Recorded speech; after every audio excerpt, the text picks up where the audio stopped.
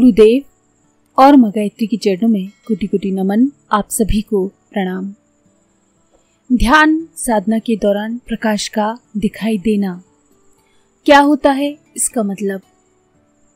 ध्यान के दौरान आपको अलग अलग प्रकार के प्रकाश दिखाई दे सकते हैं। सफ़ेद, पीला, लाल, मटमैला, नीला, हरा, मिश्रित। बिजली की चौंध की तरह चमकते हुए सूर्य की तरह।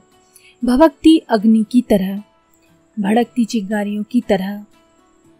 चाँद तारों के जैसा प्रकाश आपको दिखाई दे सकता है।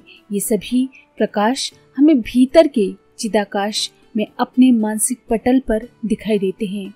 ये सभी तरह के प्रकाश हमारे शरीर में स्थित पंच तत्वों के प्रकाश होते हैं। हमारा शरीर पंच तत्व से मिलकर बना होता है और हर तत्व का एक अपना रंग है। पृथ्वी तत्व का रंग पीला है, जल तत्व का रंग सफ़ेद। अग्नि तत्व का रंग लाल, वायु तत्व का रंग मटमैला और आकाश तत्व का रंग नीला होता है।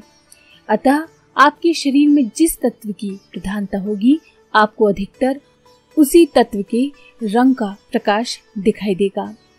और ध्यान साधना के दौरान नज़र आपको वो आएगा। पीला और सफ़ेद प्रकाश मुख्यतः सभी साधक अनुभव करते हैं, किंतु लाल और नीला प्रकाश कम ही लोगों को दिखता है। ध्यान की आरंभिक अवस्था में आपको अपनी भ्रकुटी पर, तृतीय नेत्र पर, सुई की नोक की आकार का सफ़ेद प्रकाश दिखाई पड़ सकता है, अथवा आपको अपने मानसिक पटल पर सफ़ेद प्रकाश के छोटे छोटे पुंज या गोली दिखाई दे सकते हैं। धीरे धीरे जब आप ध्यान में आगे बढ़ेंगे तो प्रकाश का ये दर्शन छोटे से बड़े रूप में परिवर्तित होता जाएगा।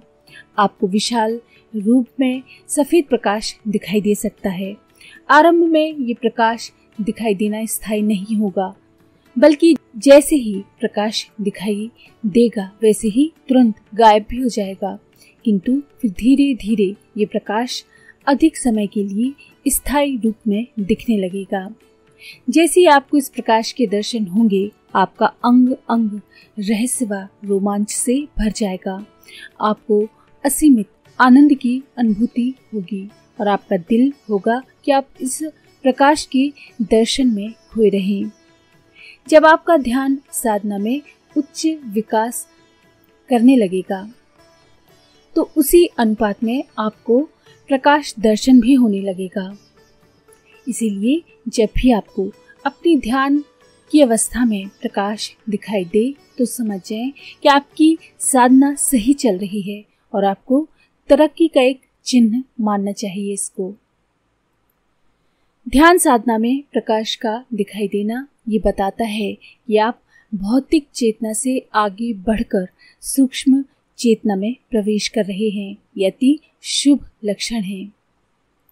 और आपको अपनी ध्यान साधना जारी रखनी चाहिए। धीरे धीरे अभ्यास होगा और आपको और अधिक अनुभव होंगे। आज के लिए इतना ही।